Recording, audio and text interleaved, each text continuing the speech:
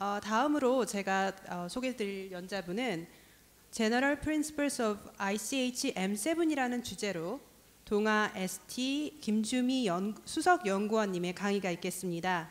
김주미 연구원님 큰 박수로 모시도록 하겠습니다. 네, 안녕하세요. 어, 네, 잘 들리시죠? 네.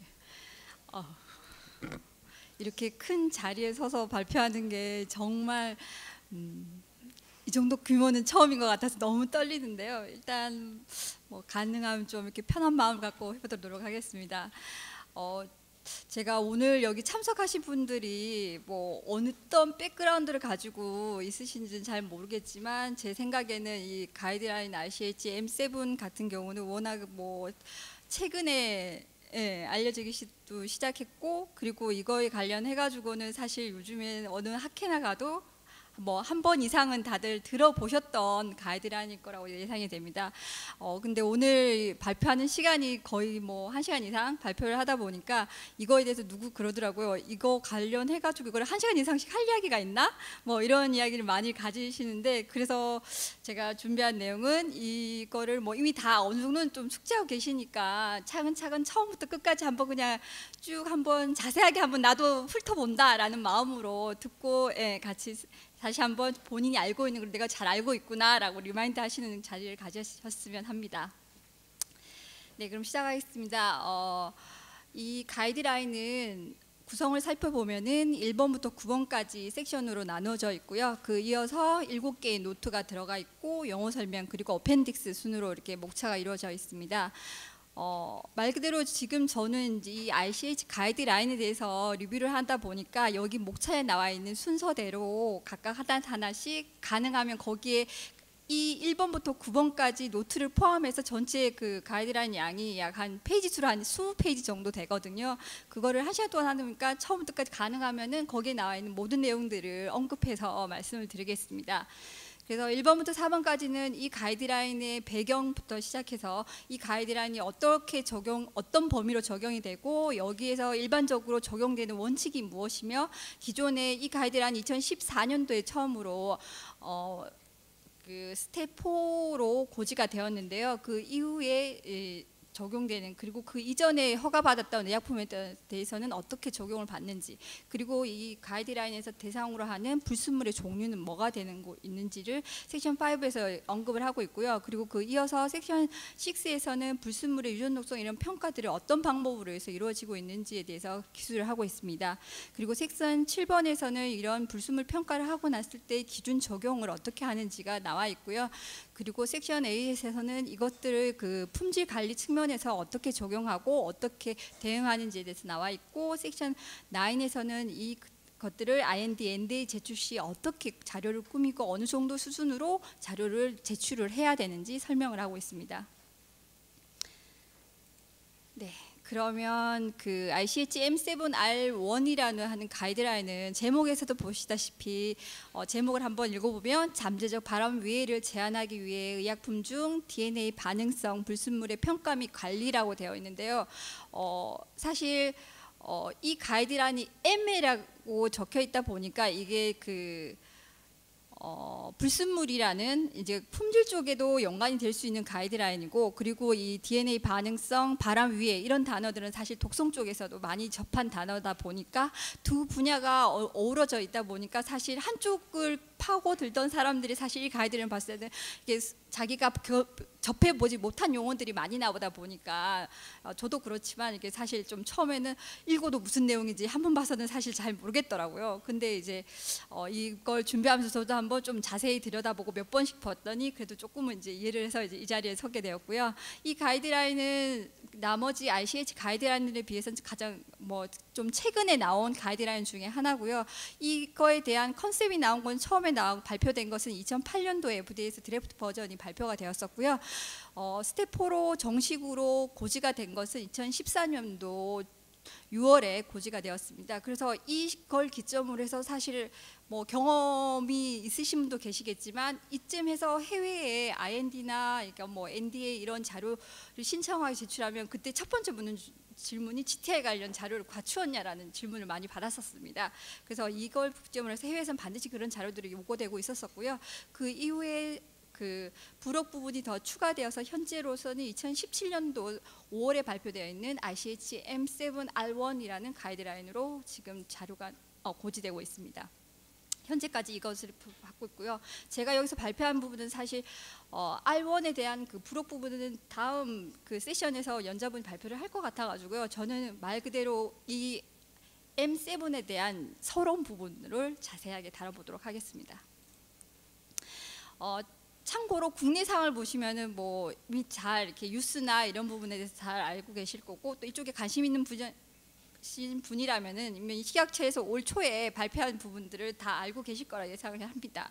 작년에 그 발사탄에 있는 그 어, M&D 그 이슈 때문에 이것들에 한번 그 GTI 이슈에 대해서 다시 한번 더 이렇게 더 각광을 받, 어, 각광이라기보다는 이 회자가 되었었고요. 그래서 올 초에 식약처에서 드디어 이 의약품의 품목 허가 신고 심사 규정을 개정을 해서 직접적으로 이 부- 문구를 삽입함으로써 저희들도 국내에 자료를 제출할 때 이 자료들을 갖춰야 되게 되었습니다. 이것의 그 시행 시점을 보면은 어, 이 고지가 3월에 개정이 되었고요.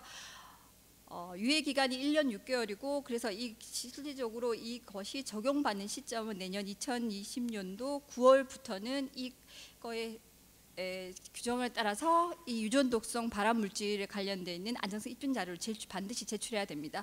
1년 6개월이라고 하면 시간이 많이 남았으니까 뭐 괜찮겠지 뭐 천천히 준비해도 되겠지 하는 부분이 있을 수가 있는데요. 생각보다 1년 6개월이라는 시간이 결코 긴 시간은 아닙니다.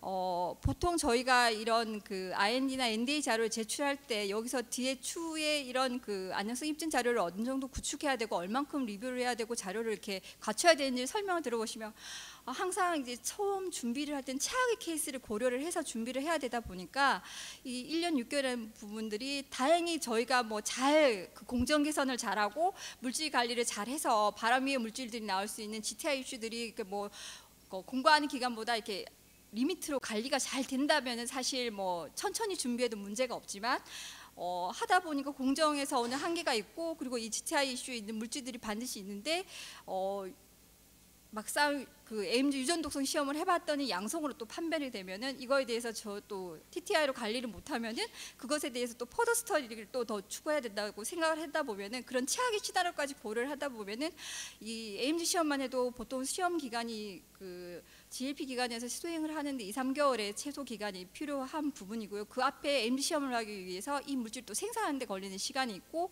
여기서 양성이 돼서 또 퍼더 스터디를 한다 그러면 그 이상의 또 시간이 또 더 필요하니까 결국에는 이거를 준비하는 건 최소 그래도 6개월 전부터 이런 부분에 대해서 염두에 두시고 이 자료를 준비를 해야 된다라고 보여집니다. 그럼 이 ICH 가이드라인에 다시 이제 돌아와서 이제 살펴보시면 이 가이드라인은 말 그대로 이렇게 딱 첫 번째 impurity 관련 가이드라인입니다. 이미 알다시피 impurity 관련 가이드라인은 벌써 그 Q 부분에 있어서 네 개의 가이드라인이 벌써 이미 있는데 굳이 또 이 가이드라인이 왜 생겼냐라는 부분이 들 수가 있는데요. 어, 기존의 그 Q 부분에 있는 그 impurity 관련한 가이드라인 네 개를 살펴보시면은 어, Q3A, Q3B 그리고 Q3C, Q3D 이렇게 네 가지가 어, 존재를 하고 있고요. 이 Q3A는 알다시피 DSP, DS에 대한 impurity에 대한 전반적인 내용들을 다 언급을 하고 있고 Q3B는 이 어, DP에 대한 impurity 그리고 Q3C는 그 residual solvent에 대한 그 impurity에 대해서 가이드를 제시하고 있고요. Q3D는 elemental impurity에 대해서 이게 포괄적인 내용을 담고 있습니다. 어, 여기에서 ICH M7은 이런 그 ICH 어, Q3A, B에 대한 이런 부분들과 그리고 이 어, nonclinical safety study인 M3에 대한 이 가이드라인을 좀 더 보완해서 상호 융합적인 내용들을 모두 실다 보니까 M7의 영역, M의 영역이 들어가고 M7으로 예, 발표가 되었습니다. 그래서 이 가이드라인의 목적을 보시면 기존의 그 Q3A나 B에서 이미 그 일반적으로 나오는 불순물에 대해서 어떻게 규명을 하고 그걸 관리를 어떻게 하고 그런 대한 지침을 상세하게 나와 있는데요. 여기에서 다루는 그 M7은 이런 불순물들 중에서 대다수의 불순물 을 떠나서 그 중에서도 특히 GTI 즉 제노톡식 임퓨리티에 대해서 어, 대한 지침이 없기 때문에 그것을 보완하고자 이 가이드라인이 만들어졌고요. 그래서 이 가이드라인의 주 목적에 따라서 그 뮤타제닉 임퓨리티에 대한 실효적인 지침을 제공하고자 여기에서는 이 그 GTI에 대해서 어떻게 구조 결정을 하고 확인 시험은 어떻게 하고 그리고 그 공정에서의 어떻게 이것을 적용을 하고 위해 관리 수준은 얼마만큼 해야 되고 자료 제출이나 이런 부분들을 우리가 얼만큼 갖춰야 되는지를 구체적으로 제시하고 있다고 보시면 되겠습니다. 이 두 번째로는 이 가이드라인 적용 범위입니다. 어, 당연히 2014년도 6월에 고시가 됨으로써 이, 이후에 시행되는 임상 단계 IND, NDA 시청을 하는 새로운 의약품의 원료 의약품, 완전 의약품에 대해서는 다 이 가이드라인 적용을 받는 건 당연하고요.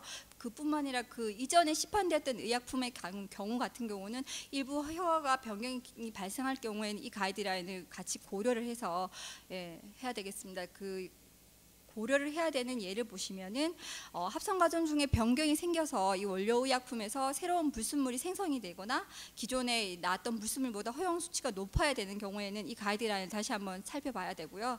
그리고 그 공정이나 formulation 관련된 부분들이 다시 변함으로 해서 새로운 분해 산물이 또 생성이 되거나 기존의 분해 산물보다 허용 범위가 또 높아지는 겨, 분해 산물이 생성이 될 때는 또 이 가이드라인에 대해서 위해도 평가 부분들이 다시 한번 검토가 되어야 되는 부분이고요. 그리고 이 허용 가능한 캐스 그 유한 영향을 미치는 적응증이나 이런 용량의 변경 등 이렇게 기타 여러 가지 상황들이 생겼을 때 반드시 GTI 관련한 이 가이드라인을 다시 한번 되짚어 봐야 되겠습니다. 어, 적용 제외되는 범위가 있는데요. 어, 알다시피 이 M7은 그 케미칼에 대해 적용을 받고요. 생물학적 제제라든지 생물공학적 제제, 펩티드, 그리고 oligonucleotide, 방사능의약품 등등 뭐 생약 제제 이런 것들은 예, 적용을 받지 않는 부분입니다. 그렇다 보니까 사실 어, 요즘에 워낙 바이오 약품 쪽으로 많이 개발이 되고 있으니까 사실 chemical 쪽에서 개발하는 케이스가 그렇게 많지 않다 보니까 경험치가 아직 저희 국내에는 그렇게 많은 경우가 발생하지는 않았던 것 같습니다. 그리고 그 또한 그 ICH-S9에서 정의되고 있는 그 진행성 암을 적응증으로 하는 그 의약품에 대해서도 이 M7은 제외 사항이고요. 그리고 올리고품 자체의 치료 농도에서 이미 그 API 자체가 유동 독성이 있다라고 밝혀지면은 그 부분에 대해서는 이 API 유래성으로서 유전 독성이 나기 때문에 정확한 그 물질의 유전 독성 평가가 이루어진다라고 보기 어렵기 때문에 그건 비변이원성 불순물 기준으로 관리가 허용이 되는 부분이고요. 그리고 기허가 제품에 이미 첨가제나 착향제, 착색용, 뭐 향료 등의 사용예가 있던 그런 부분은 이거에 별도로 적용을 받지 않습니다. 그리고 완제의약품의 포장에 관련돼서 침전물이 생기는 그런 부분들의 물질들도 예, 적용이 제외된다고 보시면 되겠습니다. 어, 그리고 그 일반적인 원칙을 살펴보면요, 가, 이 가이드라인이 유전 독성을 일으키는 물질, 즉 그 DNA 손상을 직접적으로 유발하는 DNA 그 reactive 서브턴스에 대해서 이렇게 중점적으로 기술하고 있는 부분입니다. 어, 모든 불순물을 아우르는 게 아니라 말 그대로 GTI, 즉 유전 독성을 일으킬 수 있는 물질에 대한 어, 그 임퓨리티만을 관리를 하는 부분이고요. 그래서 유전 독성 물질이라 함은 변이원성과 비변이원성으로 크게 두 가지로 나눌 수가 있고요. 이 변이원성 반응성은 어, DNA 반응성을 하는 부분이고 이 낮은 농도에서도 DNA 직접적으로 손상을 주어서 돌변이 반, 가, 나타날 가능성이 있는 물질이고 이런 돌변이 가능성이 있기 때문에 또한 어, 암 유발도 생성할 수 있다 있습니다. 그래서 이런 물질들에 대한 관리가 더 중요하고 그래서 암 유발 가능성이 있기 때문에 이런 위해를 낮추기 위한 노력들이 그 관리에서 반드시 보여져야 되는 부분입니다.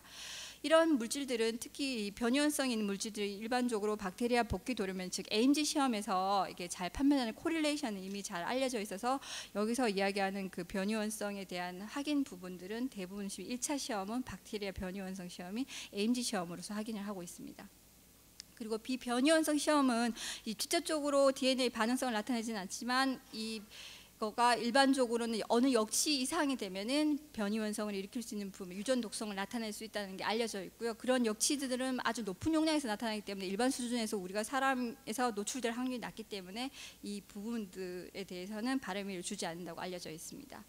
그리고 이런 유선 독성 물질임을 판단하는 방법은 크게 이제 두 가지로 나눌 수 있는데요. 직접적으로 유전 독성이 있는지 없는지 앞에서 언급한 그 AMG 시험을 통해서 어세를 통해서 유전 독성의 양성인지 음성인지 DNA 그 직접적으로 손상을 주는지를 확인하는 직접적인 방과 방법이 있고요. 그 외에 이제 간접적인 방법이 있는데 간접적인 방법은 어, 뒤에서도 이야기하겠지만 큐사 프로그램이라는 컴퓨터 프로그램을 이용해서 이 물질이 가지고 있는 유전 독성의 그 포텐셜을 예측하는 방법이 되겠습니다. 그리고 세 번, 지금 이어서 어, 이미 발암성에 관련된 연구 자료가 없는 케미컬의 유전 독성 예측을 그럼 어떻게 하느냐인데요. 큰 원칙은 일단은 TTC라는 독성학적 역치 개념을 도입해서 어, 산출하는 방법입니다. TTC라고 하는 것은 가장 감수성이 높은 동물 종에서 가장 감수성이 높은 종양 유발 부위에 대해서 이렇게 종말 발생률이 50%인 용량을 사용해 가지고 단순 선형 외삽을 통해서 종양 발생률이 10, 아, 100만 분의 1로 계산한 값이 되겠고요. 이런 그 TTC 값은 매우 가장 보수적으로 제시할 수 있는 값 중에 하나라고 보시면 될 것 같고요. 그래서 어, 일단 저희가 뭐 이렇게 독, 그 발암성이나 이런 부분들의 독소학적 유전 독성학적 정보가 없다라고 했었을 때 관리 기준은 이 TTC로 역, 추천 그 산출되어 있는 1.5 마이크로그램 퍼 데기라는 이 용량을 가지고 예, 산출을 하면 되겠습니다. 그래서 어, 여기서 그 저희가 그 유전 독성 물질을 얼마만큼 관리하냐면 이 수치 하나를 기억하시면 뭐 반은 아신다라고 보시면 될 것 같습니다. 그래서 이 값은 일생 동안 그 암이 걸릴 확률이 10만 분의 1인 값이 되겠고요. 모든 변이현성 화합물에 대해서 이게 안전한 노출에 대한 추정치로서 이 값을 기준으로 잡고 있습니다. 하지만 이 값이 반드시 이 값을 초과하는 수치로 물질이 노출된다고 해서 이게 바람 위해가 반드시 절대적으로 증가하는 것은 또 바로 이꼬르는 아니고요. 그 이유는 일정 이 발암 위해가 워낙 낮은 농도 값을 기준으로 제시하다 보니까 여기서 조금 초과한다고 해서 바로 발암 위해가 증가하는 건 아니기 때문입니다. 그리고 TTC 이하의 섭취에서도 이 잠재적 발암 위해가 발암성이 높은 구조가 예외적으로 또 존재를 하는데요. 이런 물질들은 cohort of concern이라는 규명을 하고 그런 종류로는 이 아플라톡신 유사 화합물이라든지 니트로소 화합물, 알킬 아족시 화합물 같은 경우는 이 구조적 특징으로 인해서 어, TTCI의 낮은 용도에서도 각각의 그 발암성이 발휘한 아, 발암성을 나타낸다고 이미 잘 알려져 있는 물질 같은 경우는 TTC 예외적으로 이 물질 특이적인 그 기준치로 어, 관리를 해야 되겠습니다. 아.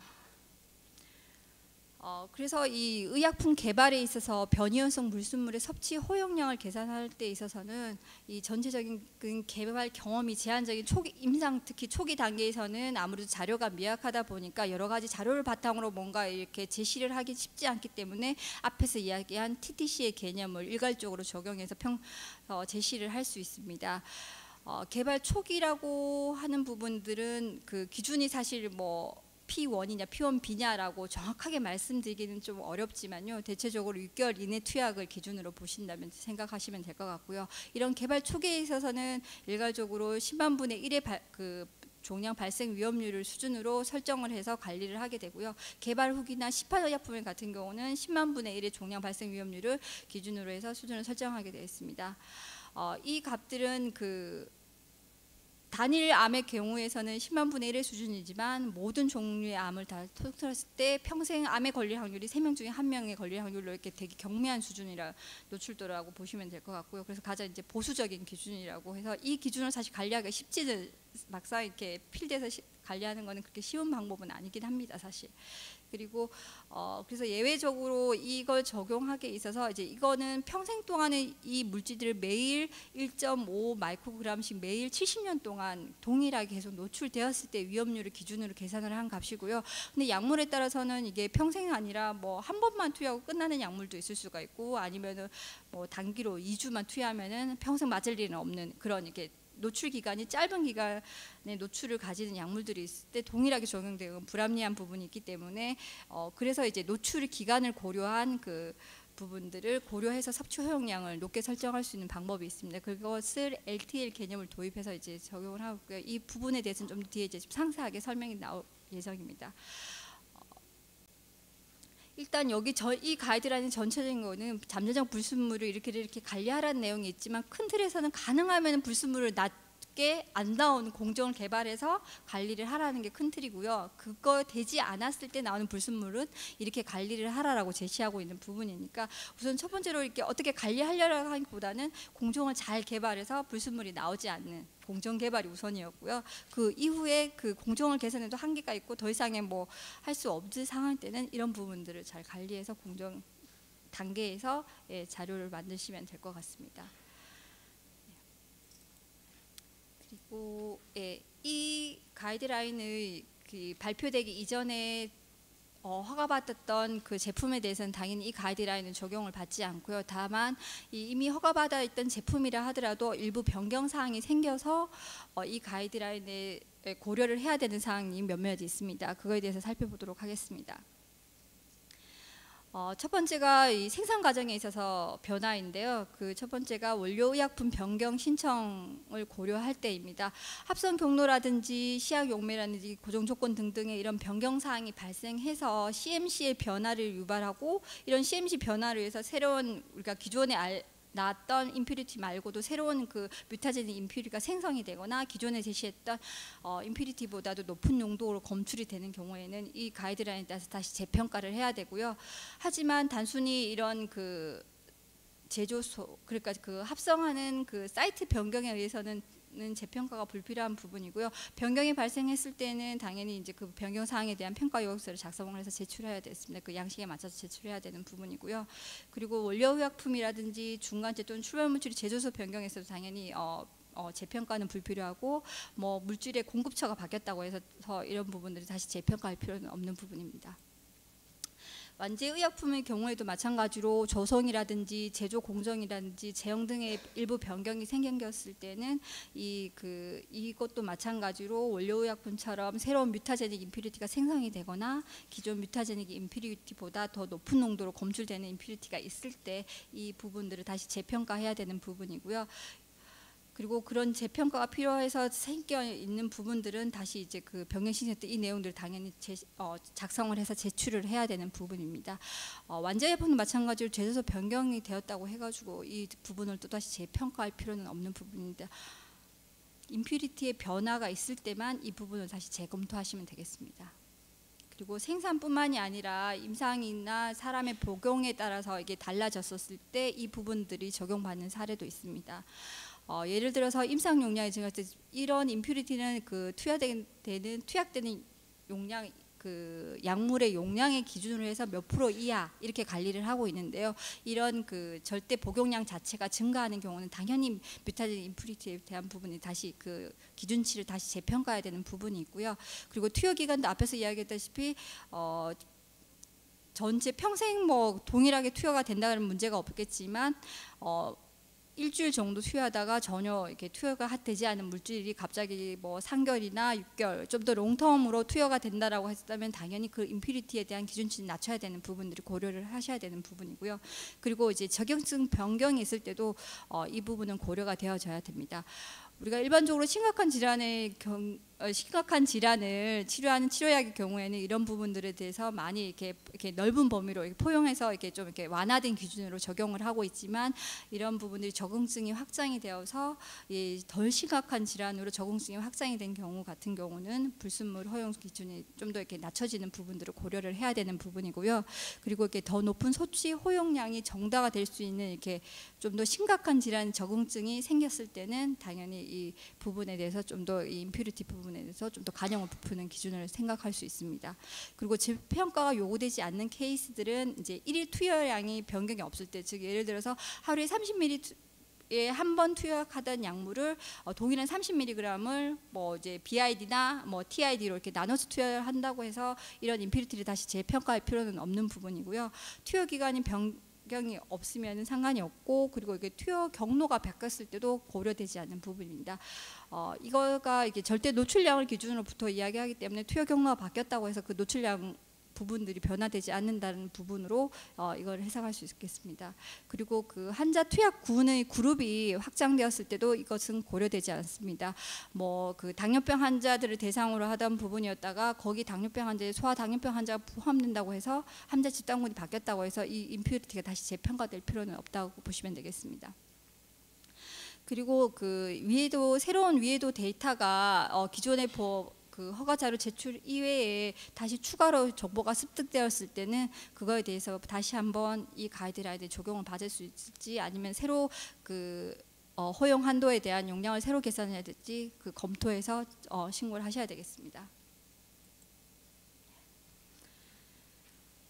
그리고 원료의약품과 완제의약품의 그 임퓨리티에 대해서 어떻게 평가를 하는지에 대해서 살펴보도록 하겠습니다.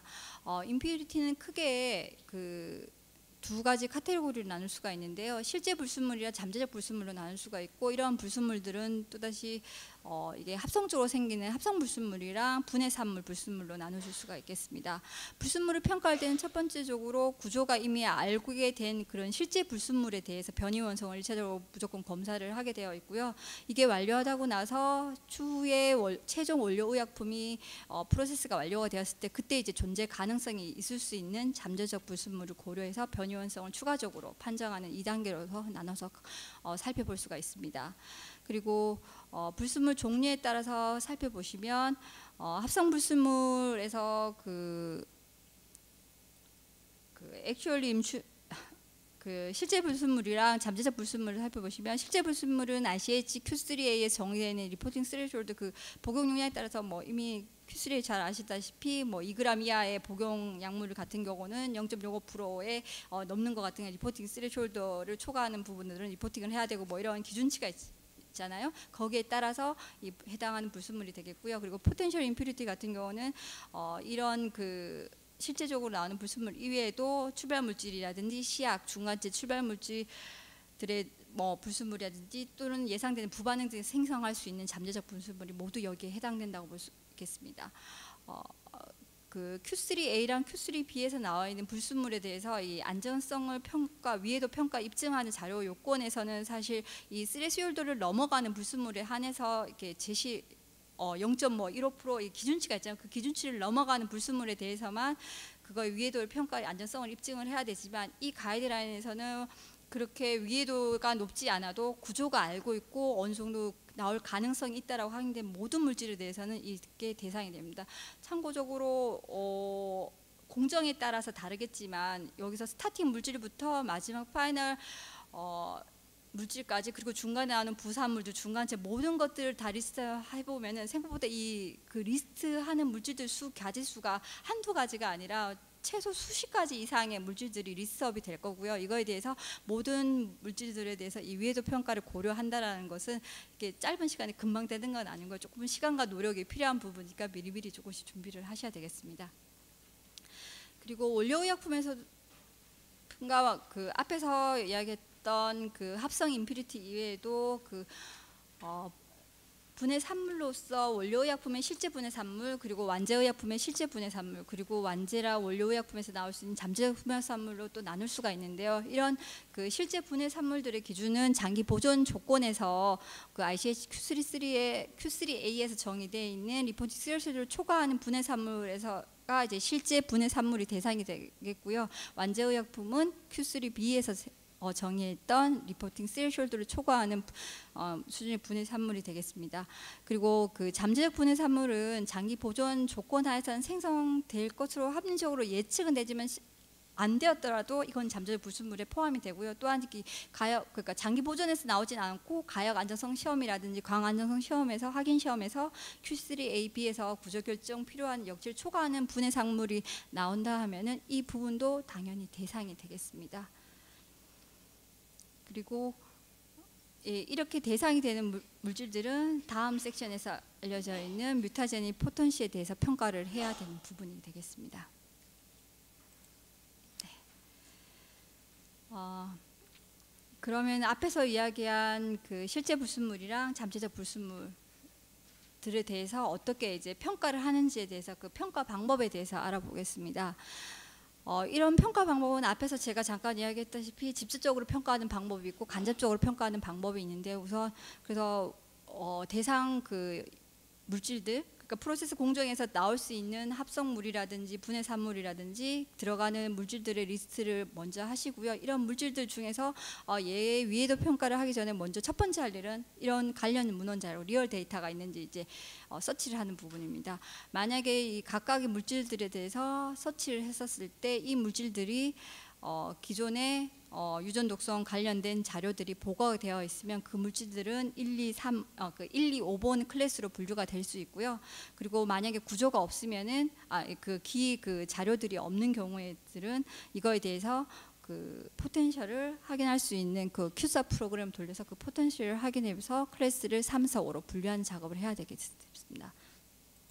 보시면 어, 그래서 이 impurity를 이렇게 다섯 가지 클래스로 크게 나뉘는데요. 어, 앞에서 이야기했듯이 발암성과 변이원성 물질이 하- 모두 다 존재하는 확인된 물질은 클래스 1으로 분류가 되고 이 물질들은 이 각각 물질들이 나와 있는 독성 시험 결과의 real 데이터를 근거로 해서 물질별 관리 기준을 제시해야 되는 부분이고요. 어, 그리고 클래스 2는 어, 발암성 물질, 발암성 관련된 자료는 없지만 변이원성이 양성으로 확인된 물질들은 클래스 2에 해당이 되겠습니다. 말 그대로 Ames 양성 시험의 결과 데이터가 있는 물질이 되겠고요. 이런 물질들은 당연히 TTC로 관리를 하게 되겠습니다. 그리고 어, 이미 그 기존의 변이원성이나 발암성이 없다라고 알려져 있는 충분한 데이터가 있어서 음성으로 확인된 물질들은 클래스 5에 해당이 되고요. 이런 물질들은 어, 비변이원성 물질이기 때문에 ICS Q3AB 규정에 따라서 관리 기준을 설정해서 관리를 하시면 되겠습니다. 그러면 이제 그 자료가 없는 클래스 3랑 4에 해당되는 물질들은 또 어떤 게 있냐면요. 어, QSAR 프로그램에서 어떤 potential을 확인하는 작업을 거치면 그 프로그램 결과에서 어, 변이원성 구조가 있다 예측이 된다라고 떴었을 때 그 변이원성 구조가 어, 그 주성분인 API 유래에 의해서 나타나는 건지 API 유래가 아닌 건지에 따라 클래스 3와 4로 나눌 수가 있고요. 어, 변이원성이 그 주성분과 관련이 없는 경우는 클래스 3로 분류가 되고 그 물질 특이적인 그 변이원성 데이터는 없습니다. 이런 경우에는 그 변이원성 물질에 대한 관리를 해야 되는데 이때 관리하는 방법은 바로 그냥 TTC로 관리할 수 있으면 TTC 아래로 수치를 관리하면 되고요. 만약 TTC 아래로 관리하기 어려운 조건이라고 하면은 Ames 시험을 직접적으로 in vitro 시험을 실시를 해서 양성인지 음성인지 테스트를 하시면 되겠습니다. 만약에 테스트 결과 양성으로 판단이 되면은 Ames real 데이터가 생성되는 거니까 클래스 2로 해서 관리를 하셔야 되는 부분이고요.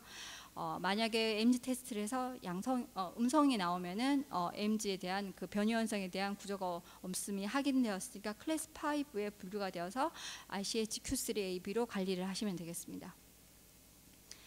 어, 여기에서 Ames 시험에 관련해서 노트 2에 대해서 언급을 하고 있는데요. 어, 불순물의 변이원성 평가하는 그 Ames 시험은 기존의 독성 시험에서 평가하는 Ames 시험과 동일하게 진행이 되는 부분이고요. 그런 시험 방법에 대해서는 ICH S2와 OECD 471의 예, 방법에 따라 적절한 프로토콜을 확립해서 하시면 되고요. 원칙적으로 이러한 모든 시험들은 GLP 규정을 준수해서 실시를 해야 됩니다. 하지만 모든 시험들이 뭐 조제물 분석부터 해서 마지막 그 분류까지 모두 GLP로 하는 게 원칙이긴 하지만 예외적으로 뭐 일부 시험이 어, GLP 규정을 지키지 않았다고 해서 그 데이터가 쓸모없는 건 아니고요. 어, 데비에이션이나 이런 부분들을 어, 붙여서 어, 데이터는 활용할 수 있는 부분입니다. 하지만 일반 원칙은 GLP로 진행을 해야 되는 부분입니다.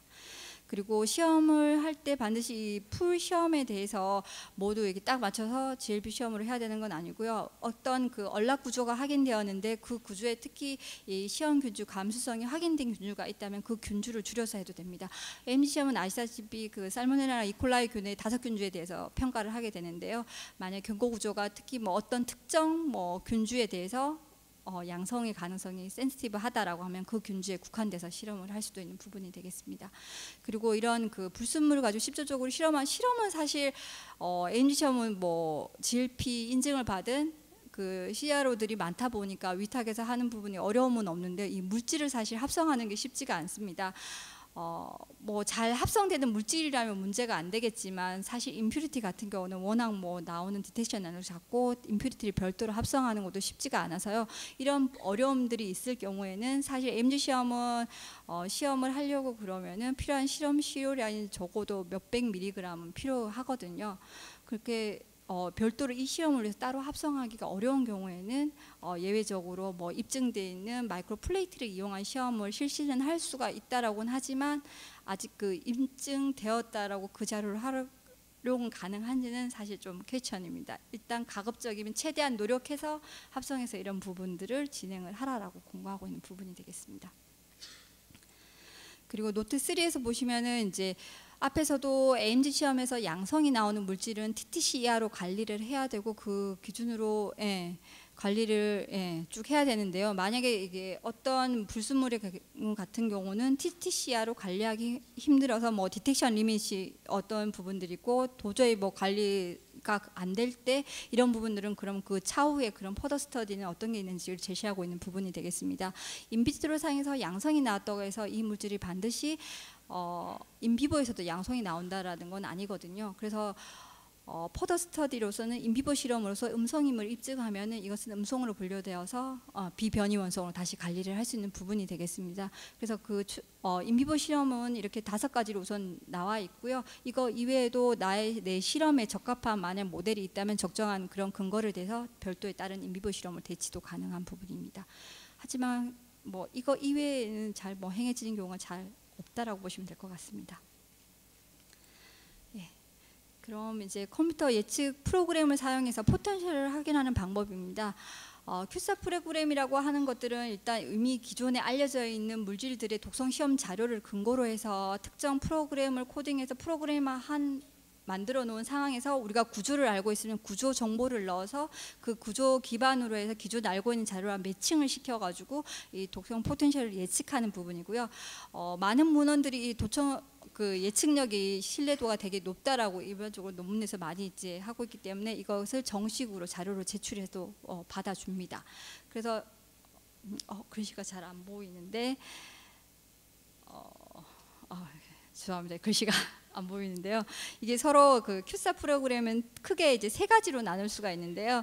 어, 경험을 기반으로 한 그 독성의 기, 그 MOA라든지 아니면 독성의 그런 그 물리 특성 그런 독성 자료들을 기반으로 해서 나오는 이제 그 expert 기반으로 하는 모델들이 하나가 있고요. 그리고 화합물의 물리학적 특성을 기반으로 해서 하는 통계 기반의 모델들이 있고 그리고 이 두 개가 혼합되어 있는 하이브리드 혼합 모델 이렇게 세 가지로 크게 나눌 수가 있습니다. 각 시, 물질들은 아, 이런 모델들은 장단점이 있는데요.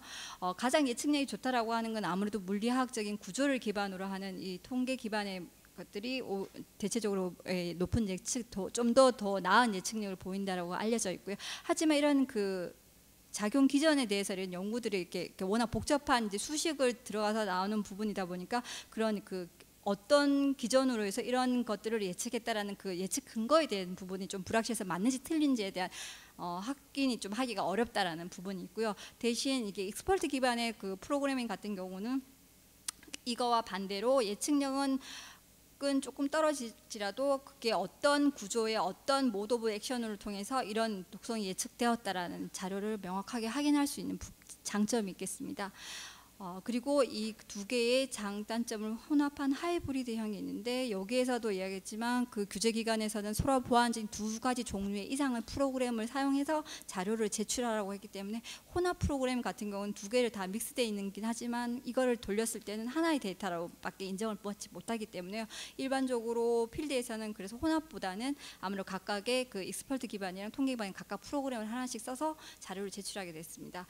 어, 뭐 돌려보신 분들은 아시겠지만 지금 이제 가장 많이 들어본 프로그램이라고 하면은 Derek이라는 프로그램을 들어보셨을 거고요. 제가 뭐 덱사 쪽에 뭐 이렇게 연관이 있는 건 아닌데 예, 일반적으로 덱사 프로그램 세계적으로 많이 가장 많이 쓰이는 부, 부분이고 덱사 쪽의 프로그램을 과거에서는 사실 expert 기반의 프로그램 으로 시작을 했는지 모르겠는데 현재는 Derek이랑 Sarah라는 프로그램이 이 통계 기반으로 나왔기 때문에 그 한 프로그램을 돌리면 두 개의 결과를 각각 나오고 그거에 종합해서 얘가 카테고리가 뭐다라는 결론까지 도출하는 프로그램이 되겠고요. 그 이외에도 MultiCASE 여기 보면 통계 기반의 MultiCASE가 있는데 이 MultiCASE도 어, 초반은 통계 기반으로 스타트를 했지만 어, MultiCASE도 프로그램을 돌리시면은 여기 통계 기반과 expert 결, 결과가 모두 다 어, 수령이 되는 겠습니다. 그리고 이런 프로그램뿐만이 아니라 Leadscope라는 프로그램도 많이 사용이 되고 있는데요. Leadscope도 마찬가지로 각각의 기반들의 결과를 가 가까이 도출되고 그거의 종합 결과까지 모두 도출되는 부분이 되겠습니다. 이런 그 유료 프로그램 말고도요 공개적으로 이제 무료로 사용할 수 있는 프로그램도 각각 나와 있습니다. 어, 이 부분은 혹시 뭐 궁금하시면 자료가 필요하신 부분 다시 이제 보내드릴 수는 있고요. 이런 부분들이 어, 각각의 기존에 알려져 있는 물질을 가지고 그 회사들이 각각의 그런 노하우를 해서 프로그래밍해서 결과를 도출하다 보니까 어, 과거 뭐 몇 케이스 그 흔치는 않지만 간혹 동일한 물질들을 서로 다른 프로그램 돌렸을 때 서로 다른 결과를 도출하는 경우도 있습니다. 그렇기 때문에 이게 뭐 여력이 되시면 어, 만약에 서로 이게 통계 기반이랑 그다음에 expert 기반의 동일한 결과가 아니고 잘 모르겠다라는 등의 이제 예측이 되지 않는 결과가 나온다 그러면 하나의 프로그램만 고집하시지 마시고 어, 다른 프로그램을 더 additional로 돌리면은 또 이렇게 원하는 결과가 나오기도 하거든요. 그래서 어, 뭐 꼭 하나만 고집하시지 말고 여러 가지 프로그램을 돌리시면 될 것 같습니다. 어, 이 유료 프로그램과 공개 프로그램 차이는 공개 프로그램도 무료이긴 하지만 약간의 그 사람이 직접적으로 저희가 이제 노력을 들여가지고 프로그램을 깔고 그 프로그램 직접적으로 돌리고 그 결과를 정리해야 되는 단점이 있긴 하지만 예측력이 떨어지지는 않기 때문에 공개 프로그램을 사용해서 직접적으로 돌리시는 분들도 예, 있다고 알고 있습니다. 예. 네. 그래서 큐사 프로그램을 보면은 가이드라인에서 이야기하고 있는 부분들이 이런 서로 보완적인 두 가지 종류의 큐사 예측 시스템을 사용해서 반드시 이제 제출을 두 개 이상의 자료를 제출을 해야 되고요. 만약 돌렸을 때 구조적 정보가 경보가 없다라고 뜨면은 앞에서 설명했다시피 클래스 5로 분류가 되어서 이것들은 그 비비연이원성에 해당이 되므로 기존의 RCH 가이드라인을 따르시면 되는 거고요. 경고 구조가 뜬다라고 하면은 이 물질 자체가 예, 그 변이원성에 가는 아, 그 변이원성 불순물에 해당이 되므로 얘가 그 박테리아 변이원성 시험을 AMG 시험을 해봐야 되고 그게 음성이면은 추가적인 유전독성 관리는 필요 없는 클래스 5로 관리를 하시면 되고 양성이 나왔을 때는 위해도 평가에 대한 대책을 마련하는 클래스 2에 해당이 되는 걸로 관리를 하시면 되겠습니다.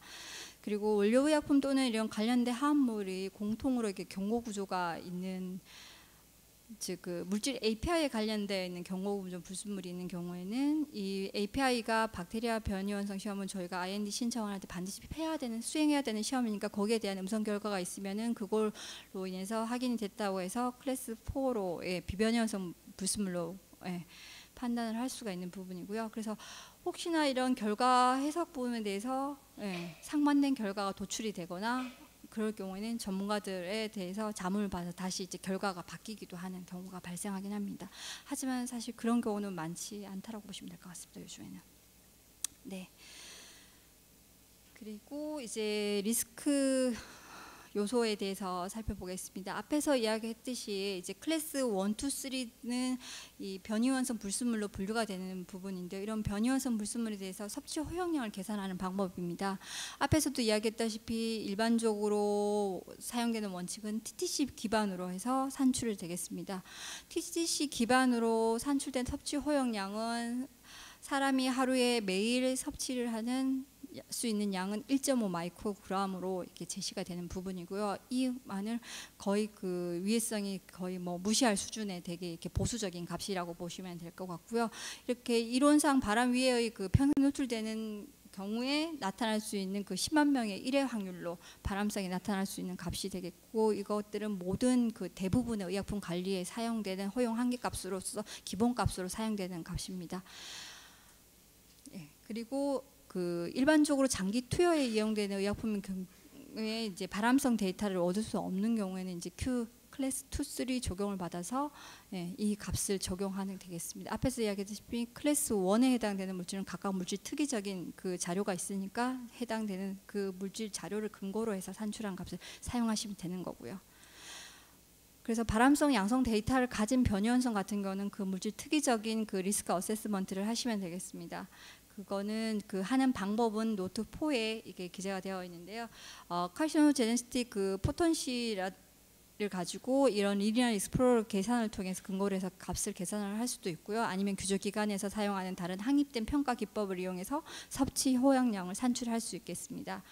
그래서 일반적으로 가장 많이 사용하는 것은 TD50을 이용한 선형 외삽 방법이 되겠습니다. 이 TD50이라고 하는 것은 종양 발생률이 50% 되는 용량을 의미하고 이거 같은 거는 발암 위해의 확률이 2대 1인 것과 동등한 게 되겠습니다. 그래서 앞에서 이야기하는 그 TTC 개념과처럼 10만 분의 1의 확률로 그 종양이 유발되는 확률인 경우에는 이 TD50을 5 만으로 나누면은 동일한 확률 값을 가질 수가 있다라고 합니다. 그래서 어, 계산 예를 보시면 ethylene oxide 예가 나오는데요. 이 물질의 그 발암성 시험 데이터를 봤었을 때 어, rat 발암성 시험에서 종양 발생률이 TD50은 21.3mg per kg로 산출이 되었었고요.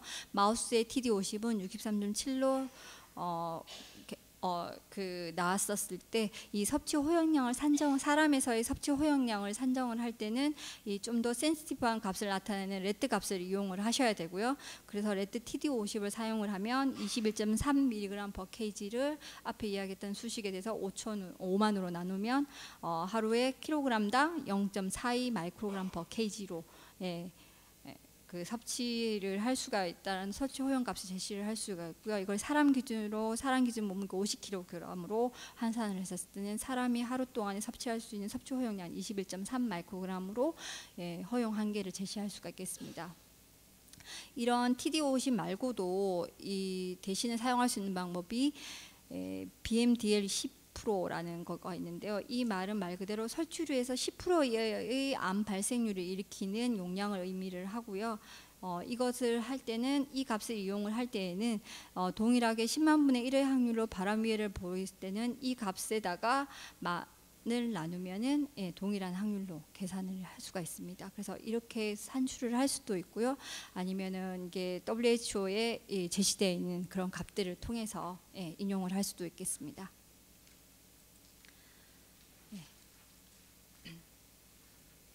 예, 그 발암성 데이터 말고도 이런 그 용량 반응 곡선이 non-linear하거나 threshold가 입증된 그런 유전 독성 impurity가 있을 경우에는 그 데이터를 활용해서 어, 일일, 서, 일일 노출 허용량을 계산을 할 수가 있습니다. 이 계산 방법은 그 잔류용매 에서 계산하는 방법과 동일한 방법인데요. 어, 채, 그 최대 무작용량을 기준으로 해서 어, 몸무게를 보정을 하고 불확실성 개수인 F1부터 F5까지 각각을 사용해서 하고요. 이거는 다음 세션에 아마 연자분이 자세히 설명을 하는 걸로 알고 있습니다. 네. 잔류용매에서 이 수식이 나니까 각 그 이 불확실성 개수가 각각이 뭐가 의미되고 어떤 데이터를 할 때 그 값이 얼마가 넣어야 될지는 다 뒤에 자, 자세히 설명하는 하겠습니다. 그리고 그 화합물 특이적으로 위해 평가 계산의 섭취 허용량 같은 경우는요. 앞에서도 이야기했다시피 그, 섭, 그 노출 기간이 길어질수록 그 허용의 그 발암성 위해가 증가한다라는 부분들이 잘 입증되어 있기 때문에 그 노출 기간들에 따라서 그 비율에 따라서 그 섭취 허용량의 한계를 조절할 수 있다는 부분입니다. 그래서 어떤 물질 같은 경우는 일일 섭취 허용량이 만약에 15 마이크로그램 per day인 경우가 있다면 이 물질이 투여 기간이 1에서 10년일 때는 이 정도의 투여 양을 가능 섭취 허용량을 제시를 할 수가 있고요. 만약에 1개월 이하로 단기로 투여를 했다면은 이렇게까지도 제시할 수 있습니다. 하지만 이렇게까지 하기에는 좀 무리가 있는데 그걸 판단하는 부분들은 전체 그 부분 중에서 전체 그 API 양 기준으로 했을 때 0.5%를 넘지 않는 즉 더 낮은 값으로 예, 그 섭취 허용량을 제시를 해야 됩니다. 예, 그래서 평생 노출을 기준으로 그 TTC를 제시를 한다 그러면은 그 노출 기간에 대한 섭취 허용량을 제한해서 좀 더 상향 조정할 수 있는 부분들이 있는데요. 그 부분은 이 가이드라인에 표로 잘 정리가 되어 있습니다. 앞에서 이야기한 일일 섭취 허용량인 1.5 마이크론 퍼 데이는 이 사람 수명을 70년을 기준으로 했었을 때 70년 동안 매일매일 균등하게 노출해서 바람 확률이 10만 분의 1이라는 일대에 산출된 값이 되겠고요. 그래서 간헐적으로 투여하는 경우에는 이 기준을 좀 더 상향 조절해서 각각의 섭취 허용량을 기준을 제시를 할 수가 있고요. 예를 들어서 이제 간헐적 투여가 이루어지는 물질인 경우에 일일 허용 한도가 투여 기간 대이 간헐적으로 이루어지는 일일 허용 한도를 투여 기간 전체를 하는 게 아니라 실질적으로 투여된 총 횟수를 기반으로 설정을 하게 되어 있습니다. 2년 동안에 일주일에 한 번씩 투여된다 그러면은 얘가 투여 기간이 2년으로 계산을 하는 게 아니라 일주일에 한 번씩 했기 때문에 어 1년에 52번이 되고 2년이면은 104번 그래서 104일 투여가 되는 기준으로 적용을 하시면 되겠습니다. 그래서 부가적으로 이 TTC라는 것들이 어떻게 산출되었는지 다시 한번 그림으로 설명을 하고 있는데요. 이런 섭취 허용량과 투여 기간의 함수로 계산된 이론상 값인 100만 분의 1의 확률로 바람 위해가 발생하는 변이원성 불순물의 양을 이제 예, linear하게 계산을 했습니다. 그래서 1일 그 투여 기간이 70년을 기준으로 했었을 때는 하루의 섭취 허용량이 1.5 마이크로그램이지만 단회 때는 이 그 linear로 역산을 하면은 어, 3만 8천까지 되고요. 하지만 이제 임상 초기인 그 투여 기간이 짧은 경우에는 좀더 예, 넓은 범위로 적용 위해도를 넓게 평가해서 이런 100만 분의 1 수준까지도 발암 위해성을 확립을 하다 보면은 임상 초기에는 좀더 어, 예, 더 많은 허용량을 제시할 수가 있습니다. 그래서 임상 단계에 따라서 적용되는 허- 제시 허용량에 따라서는 그 가이드라인에 보면은 잘 나와 있습니다. 그래서 임상 초기에는 10만 분의 1의 그 risk level을 기준으로 설정을 하고 late stage에서는 10, 그 10만 분의 1의 risk level로 관리를 하면 되겠습니다. 그리고 이런 그 임상 일상에서의 그 요즘엔 임상 스테이지별로 이 부분들이 다 자료를 갖춰야 되는데요. 어, 10살 이내에 투여되는 P1 임상인 같은 경우는 어, 모든 뭐 불순물에 대해서 이런 그 관리 방법이라든지 모든 자료가 다 구축될 필요는 없고요. 초반에 임상 시험 같은 경우는 이미 기 알려져 있는 그 발암 원성이나 유전 독성 그 자료가 있는 물질들에 대해서만 불순물 에 대한 허용 한도만 그 가- 자료를 기준으로 예, 제시를 하면 되겠습니다. 그 이후에 이제 임상이 단계가 좀 더 이제 예, 진행이 되면은 이 별도의 one, two뿐만이 아니라 클래스 3 등의 further study 관련 관련 모든 자료들이 단계적으로 더 제시를 해야 되고 그 내용은 네, 뒤쪽에 좀 더 자세히 말씀을 드리겠습니다. 그리고 이미 마켓에 나와 있는 물질들은 어, 허가된 그 의약품들 같은 경우는 10의 10만 분의 1의 확률로 리스크 레벨을 관리를 하고 있고요. 다시 그렇다고 해서 이미 시판을 허가받은 물질들을 다시 재평가할 건 아니고 앞에서도 얘기했지만 추후에 변경 사항이 필요한 부분들은 이걸로 어, 기준을 잡고 설정을 하시면 되겠습니다. 네, 그래서 허용 한도의 그 예시인데요.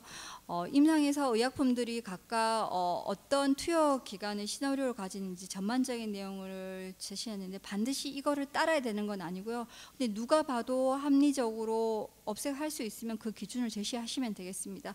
예를 들어서 마취제 같은 경우는 일생 동안 아무리 뭐 그 수술할 때 말고는 사실 마취제 쓰는 경우가 많지가 않다 보니까 이런 거 같은 경우 는 당연히 평생 동안에 내가 마취제를 뭐 이렇게 30번 이상 맞을 일은 잘 없지 없을 거잖아요. 그런 경우에는 이제 이 기준에 들어갈 수 있는 부분이 되겠고요.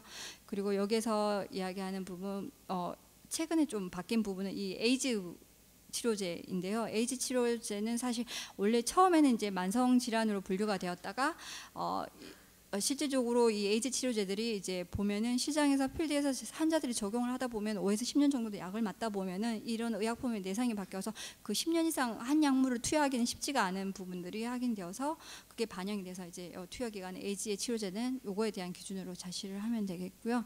그리고 이 같은 알츠하이머의 경우더라도 알츠하이머 치료제에 따라서 이 중증에 대한 알츠하이머 치료제인 경우에는 이 환자의 그 생존 수명이 예, 초반 초기 알츠하이머 환자보다는 당연히 짧은 거가 반영이 되어서 그 허용 한도도 당연히 여기 케이스를 달라줄 수 있는 부분이 되겠습니다. 그래서 자기 물질의 그 내가 속하는 이 치료제 그 의약품의 카테고리를 어디로 기준을 잡을지 투여 기간을 잘 이렇게 에, 리뷰하셔서 거기에 적정한 부분들을 선택하셔서 에, 작성을 하시면 되겠습니다. 그리고 아, 앞에서도 계속 이야기했지만 이런 TTC 기반의 그 섭취 허용량은 당연히 그 개개의 불순물에 대해서 적용이 되는 부분이고요. 하지만 이런 그 불순물이 세 개 이상으로 많아지는 경우에는 이 각각 개별에 대해서도 적용을 받지만 세 개 이상의 불순물을 합쳤을 때 섭취 허용량도 제한이 있겠습니다. 뭐 불순물이 사실 클래스 2, 3에 이 포함되는 합성 세 개 이상의 불순물이랑은 당연히 클래스 2, 3에 해당되는 것만 포함이 되고 클래스 1은 별도이고 나머지 이제 그 미확인된 물질은 당연히 이거 규정을 받지 않는 부분인데요. 그래서 클래스 1, 2, 3 중에서 클래스 2, 3에 해당되는 불순물이 3개 이상 또는 뭐 이렇게 5개, 10개인 경우는 잘 없긴 하겠지만 그렇게 많은 경우에는 각각의 위해도를 개별로 하더라도 이런 위해도들이 이 커트라인인 1.5 마이크로그램으로 하면 그게 만약 10개가 된다 그러면 15가 되는 거잖아요. 그거에 대한 위해도를 또 어, 제한해야 둘 필요가 있기 때문에 3개 이상의 불순물이 나왔을 때는 그 커트라인은 이렇게 제시가 되어 있습니다. 그래서 개별적으로 각각 관리도 하시고 거기에 세 개 이상인 경우에는 이 세 개의 이상에 대한 해당되는 불순물들 합에서의 그 커트라인도 고려를 하셔야 되겠습니다. 그리고 이런 그 리스크 팩터들 중에서도 이게 예외 사항이 항상 있는데요. 이런 내가 생, 어, 섭취할 허용량을 제시하는 이런 불순물들이 어, 뭐 다른 소스에 의해서 또 증가할 수 있는 유래가 어, 증- 증가할 찬스가 있는 경우 같은 경우는 그것만으로도 이 섭취 허용량을 좀 더 넓게 설치할 수 있는 예, 과학적 근거를 제시할 수 있으면 섭취 허용량을 높게 설정을 할 수가 있고요. 그리고 어, 중증 질환이라든지 감소된 기대 수명, 뭐 그 늦게 발병 만성 질환들은 대안의 치료 제한되어 있는 이제 특이적인 뭔가 이게 특별 사례가 있는 경우에는 적절한 섭취형이 예외적으로 또 설치할 수 있는 방법이 있습니다. 그리고 앞에서도 이야기했다시피 어, cohort of concern이라는 물질 계열들 특히 이게 강한 발암성을 가진다라고 알려져 있는 구조들을 가지고 있는 물질 계열들 같은 경우는 예, 이 TTC 이하로 적용되는 각각 물질 특이적인 그 허용 한계를 제시해서 적용을 하시면 되겠습니다. 네, 예, 이제 관리 전략입니다. 어, 처음에도 제가 말씀을 드렸다시피 이거의 관리 전략은 어, 불순물을 잘 관리하자라기보다는 가능하면 이런 불순물들이 안 나오게 일단 공정 개발이 첫 번째입니다. 하지만 그런 노력에도 불구하고 불순물이 발생했었을 때 그럼 어떻게 이제 관리를 할지에 대해서 여기에서 이제 제시하고 있습니다. 이런 관리 전략에서는 아래 사항들 뭐 이제 원료 특성이라든지 나의 공정 프로세스를 잘 이해해서 그게 이제 가능한 부분들을 잘 고려해서 이제 적용을 해야 되는 부분인데요. 이런 그 관리 전략을 세울 때는 당연히 불순물 그 클래스 1, 2, 3에 대한 불순물인 경우에는 이런 불순물들이 위에도 평가 보다 제시하는 보다 허용 한도에서 잘 관리되고 있다라는 부분들을 보증할 수 있는 관리 전략을 개발을 해야 되고요. 이런 그 관리 전략을 줄이기 위한 뭐 방법은 Q9의 부분에 이런 부분들이 어떻게 좀 더 적용할 수 있는지에 대해서 제시가 되어 있습니다. 그럼 원료 의약품에서의 관리 전략을 보면요, 그 관리 전략 크게 이제 네 가지 옵션으로 나눌 수가 있는데요. 어, 첫 번째로는 그냥 이 우리가 나오는 이런 불순물들을 그냥 원료 규격에 삽입을 해서 기준을 설정하고 매 시험마다 생산되는 배치에 대해서 기준 시험을 실시를 해서 어, 잘 이렇게 그 이하로 관리되고 있다를 입증하는 방법이 되겠고요. 불편하긴 하지만 이게 뭐 가장 원론적인 방법이 되겠습니다. 하지만 이런 시험들이 매번 배지마다 어, API 뭐 순도 함량 여러 가지 모든 시험들 그 COA에 내는데 거기에 불순물 이 GTI까지 넣으면은 너무 이제 시험 부분들이 많아지니까요. 어, 필요하면 꼭 하긴 해야 되겠지만 그런 부분에 대해서 예, 조금 생략할 수 있는 부분들이 주기적 검정 시험이라 그래서 이런 그 배지 부분에 대해서 일정 주기를 가지고 시험할 수 있는 부분들이 또 이 Q6A에 제시되어 있다고 합니다. 이 부분에 대해서 이제 하시면 되고요. 그리고 이제 두 번째 옵션은 어, 이런 원료 규격의 불순물 기준으로는 이제 설정하진 않지만 이런 출발 물질이라든지 중간체라든지 이런 규격이나 공정 과정에서 시험 테스트를 해서 잘 관리되다 있다라고 적합 기준 이하로 관리되고 있다라는 걸 입증하는 부분들을 시험 항목으로 제시할 수 있는 부분이 되겠습니다. 그리고 옵션 세 번째의 경우에는 어, 불순물 기준에 설정하진 않지만 이런 그 허용 한도보다도 이렇게 높게 설정할 수밖에 없는 그런 물질들이 존재하는 경우가 있습니다. 어, 순간적으로 이게 중간체라든지 아니면 어떤 반응성에 순간적으로 높이 나왔다가 네, 없어지는 경우 같은 경우는 이 별도로 이걸 근거를 제시해서 어, 어, 그 허용 한도보다 높게 관리하지만 그 이엔 또 안 나타난다를 입증하면 되는 부분이고요. 그리고 마지막 옵션 네 번째에서는 어, 아예 관리 자체를 하지 않는 경우인데 이거는 당연히 과학적 타당성이 제시가 반드시 되어야 되는 부분인 거고요. 누가 봐도 이 물질은 아, 이 반응성에 의해서 나타날 수가 없구나를 예, 인지하는 물질 같은 경우는 이 기준 설정에 넣지 않아도 되는 물질도 존재를 합니다. 앞에서 이야기한 옵션 3, 4는 당연히 이런 부분들이 예외적으로 되는 부분이다 보니까 이러한 그 관리 방법을 선택할 수 있는 해도 된다라는 그 GR 분석 데이터가 반드시 필요하고요. 이런 공정들에 비해서 어, 예, 입증 자료들을 반드시 예, 제시를 하셔야 되는 부분입니다. 하지만 이런 입증 타당성을 제시하기 어려운 경우에는 당연히 이 예, 옵션 2를 허용 기준 내에서 관리를 해야 되는 부분들을 선택을 하셔야 되는 부분인 거고요. 그리고 이게 detection 이하로 나오는 부분인 경우에는 예, 합리적으로 워낙 낮은 값이라서 detection 로 관리가 된다라는 걸 제시하셔도 되는 부분입니다.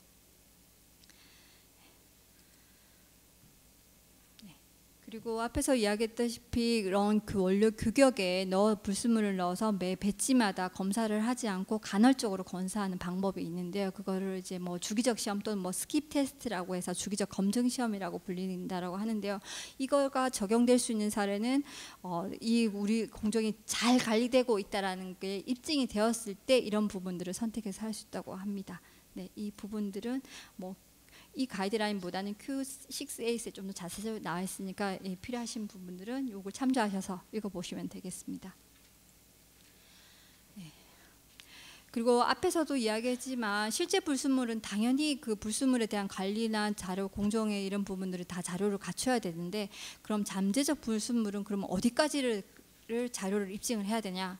라는 게 관건인데요. 앞에서도 이야기했지만 잠재적 불순물이라고 하는 거는 가속 시험 그 어, 안정성 시험을 할 때 그 장기 안정성에서는 이 아닌 그 가속 안정성 시험인 요 조건에서 나오는 물질들 중에서 리포팅 리밋 이- 이상으로 디텍션이 되고 그게 장기 안정성 시험에 잠재적으로 과학적으로 나타날 가능성이 높은 물질들은 잠재적 불순물로 분류가 되고요. 그런 불순물에 대해서는 구조에 대해서 규명을 하고 그 규명된 구조를 가지고 반드시 이 위해도 평가를 반드시 모니터링을 하셔야 됩니다. 어, 이 가이드라인은 개발 후에 예, 승인된 제품에 대해서도 일부 적용이 된다라고 예, 말씀을 드렸는데요. 네. 네, 넘어가겠습니다. 그리고 어, 임상 개발 단계에 따라서 이 자료가 어느 정도 구축되어야 되고 얼만큼의 자료가 될지에 대해서는 예, 아무래도 뒤에 단계 되면은 공정도 좀 더 디테일해지고 그런 관리들에 대한 자료들도 많이 구축이 되니까 좀 더 디테일한 많은 자료들을 공정 가로체에 제시를 할 수가 있게 되겠습니다. 따라서 이제 이 개발 초기 같은 경우는 이런 자료들이 공정이라든지 공정도 이제 막 확립된 단계다 보니까 그런 그 공정 연구에 대한 뭐 디테일한 자료들이 많이 맞춰지지 않기 때문에 위에도 평가 부분들에 대해서는 기존의 TTC 개념이라든지 기존의 자료들이 일반 통상적으로 사용하는 그 자료를 활용해서 제시하시면 되고요. 하지만 시판이 되고 후기 임상으로 넘어가는 부분에 대해서는 자료가 갖춰지는 대로 점진적으로 준비를 하시면 되겠습니다. 그래서 그 각 단계별로 어느 정도 수준으로 제시해야 되는지 여기 이제 자세히 나와 있는데요. 어, 14일 이하의 임상 일상을 제시, 어, 실험하기 위해서 IND 자료를 제출을 하실 때는 클래스 1, 2 불순물과 그리고 cohort concern으로 알려져 있는 물, 불순물에 대해서 중점적으로 관리하는 내용을 적으시면 되겠고요. 이런 물질이 우리 불순물에 우리 그 공정에서는 얼마가 나오고 이게 얼마 이하로 관리되고 있다. 예, 그래서 위해도는 없다. 뭐 이 정도 수준으로 제시를 하시면 되고 하지만 이제 14일을 초과하는 어, 임상을 하시거나 P2A의 그 약효 시험을 들어가는 이제 이제 규모가 커지는 임상으로 규모도 커지고 투여 기간이 증가하는 경우에는 어, 앞에서 이야기한 그 클래스 1, 2 cohort concern의 물질뿐만 아니라 클래스 3의 불순물에 대한 정보도 포함을 하셔야 됩니다. 어, 이 단계에서 이제 QSAR 프로그램을 돌려서 이 클래스 3로 규명되는 물질들에 대해서는 어, 정보 리스트를 제시를 하셔야 되고요. 그리고 대단위 임상이 들어가는 2B부터 이 QSAR 프로그램 평가된 항목뿐만이 아니라 구조 목록 그리고 이거 실제적으로 어떻게 관리를 하는지 관리 계획까지 이 단계에서는 제시를 하셔야 되고요. 이때 그 제시된 이 거가 관리가 되지 않았을 때는 Ames 시험 결과도 이 단계에서는 같이 제시를 하셔야 됩니다. 이런 모든 자료들이 허가할 때는 당연히 다 포함해서 어, CTD에 이런 내용들이 이제 포함을 하셔야 되는 부분이고요. 그래서 QSAR 프로그램 시스템 결과에서 예, 4, 클래스 4호까지 나오는 모든 불순물에 대해서 종합적으로 모든 데이터 근거 부분에서 다 list up을 하셔서 각각의 클래스와 각각의 허용 한계 이런 부분들을 다 목록을 제시를 하셔야 되는 부분입니다. 그 어떻게 어떤 양식으로 제시할지는 그 가이드에 보시면 이제 예, 예시가 나와 있으니 그 양식을 따라서 작성을 하시면 되겠습니다. 네, 이상입니다. 감사합니다. 네, 김수미 수석 연구관님 좋은 강연 감사합니다.